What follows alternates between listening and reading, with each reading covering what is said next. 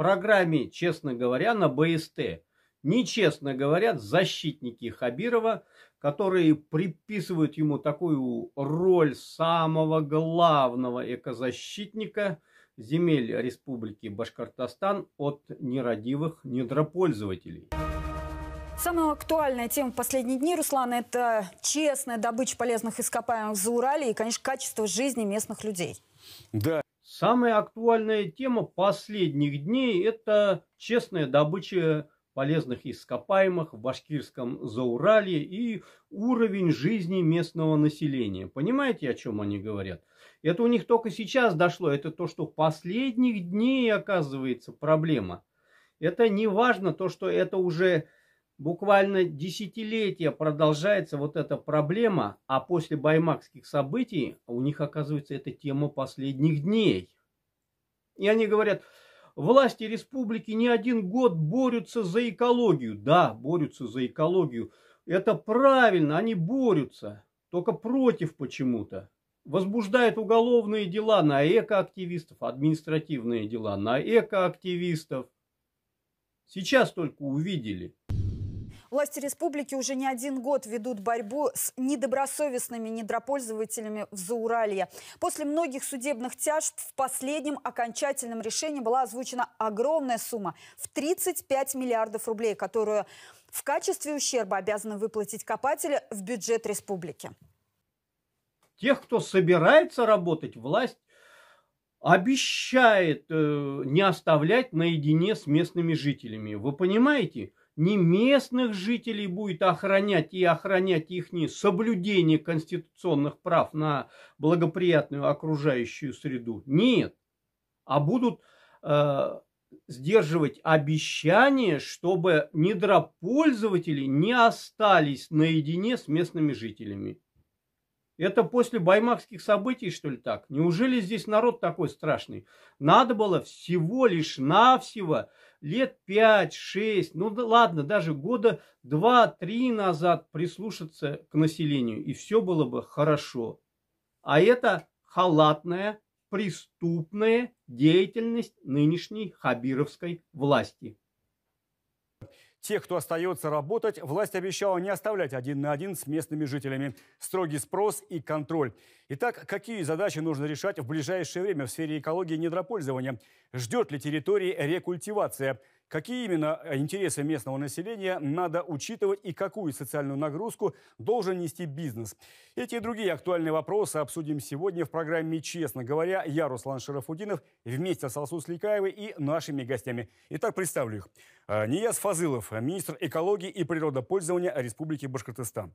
Э, Фунуза Юсупова, депутат Тимясовского сельсовета, Баймакский район. И Алексей Грицук – заместитель начальника департамента по недропользованию по Приволжскому федеральному округу, начальник отдела Баш-Недра. Здравствуйте, уважаемые гости. Позвали таких гостей, но это одно и то же, вот как, вот образно говоря, как э, с козами обсуждать, как навести порядок на капустном поле. Скажите, пожалуйста, а вы видите свет в конце туннеля вот с этой проблемой?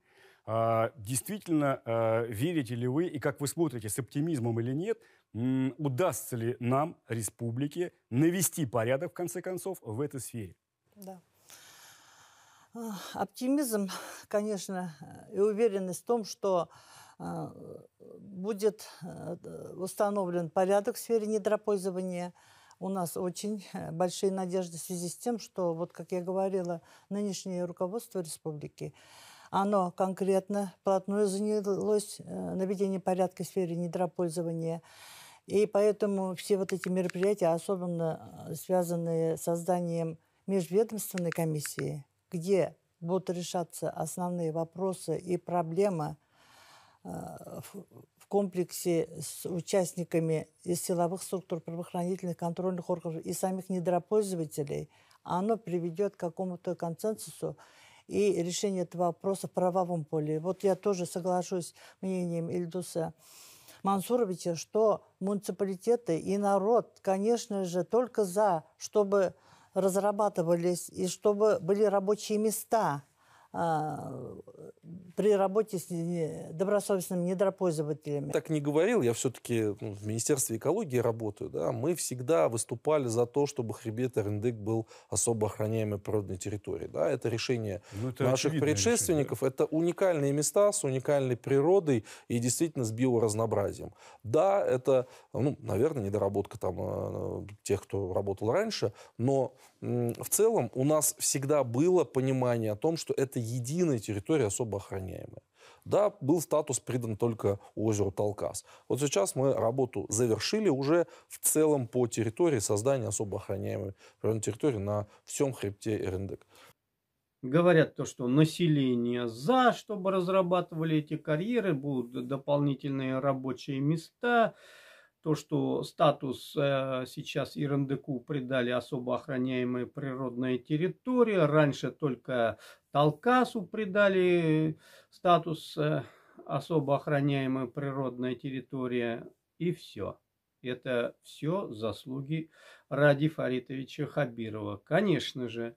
А то, что десятки сходов проходили на эту тему, это никого не волнует. То, что население которые, которую сейчас э, Хабиров называет экстремистами, сепаратистами, они как раз выходили за сохранение, за присвоение статуса Ирандыку и статуса особо охраняемой природной территории озеру Талкас ты же должен следить за тем, что они там накопали. Ну, то есть в какой момент вот, вот это происходит? Если вы говорите, что вот э, кто-то другой должен э, надзирать за тем, что там они копают. Ну, вы же дали лицензию на поиск. Да. В какой верно. момент вы проверяете, нашли они там что-то или не нашли?